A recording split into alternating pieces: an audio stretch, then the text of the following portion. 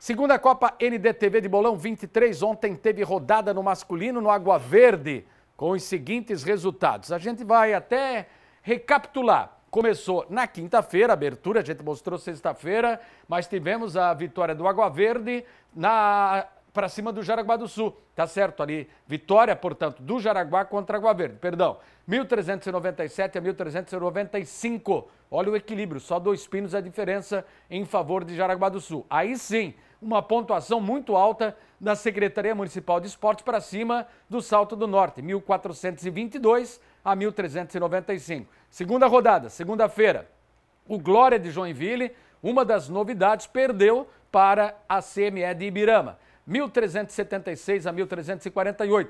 Rio do Sul confirmou seu favoritismo e venceu Vera Central, 1.394 a 1.354. E ontem tivemos Indaial, 1.359 Pinos contra 1.383 Vitória do Liberdade de Timbó. E o Praianos do Bolão, lá de Barra Velha, estreou também com derrota para Fumpel de Pomerode. 1382 a 1357. Lembrando aqui, hoje a gente teria rodada no feminino com esses dois jogos aqui, Jaraguá do Sul e Indaial, Liberdade e Água Verde, mas no masculino também, perdão, mas não vai ser realizado, portanto. Terça-feira os jogos do dia 16, melhor dizendo, dia 16 é que acontece a próxima rodada do masculino. É o feminino é que teria uma passada hoje, não vai ter por conta do deslocamento, muita chuva, queda de barreiras, vem equipes do norte do estado, do Alto Vale, não tem rodada feminina então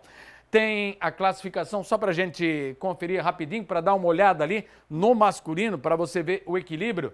Jaraguá do Sul e Liberdade liberam com três pontos, liderando. Água Verde e Indaial, nenhum até aqui. Mas só está começando. Chave B com SME Blumenau e Ibirama na frente com três pontos. Salto do Norte e Glória com zero. Rio do Sul e Pomerode, três pontos. Praianos e Vera Central, nenhum ponto somado até aqui. São equipes aí na classificação, mostrando a tabela aqui no balanço geral.